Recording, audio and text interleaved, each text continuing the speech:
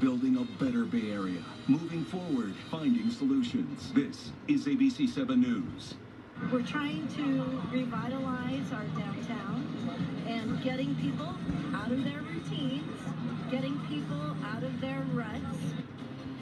Now at 5, Downtown Recovery, the latest push to bring more life back to San Francisco as another retailer announces it will leave Union Square.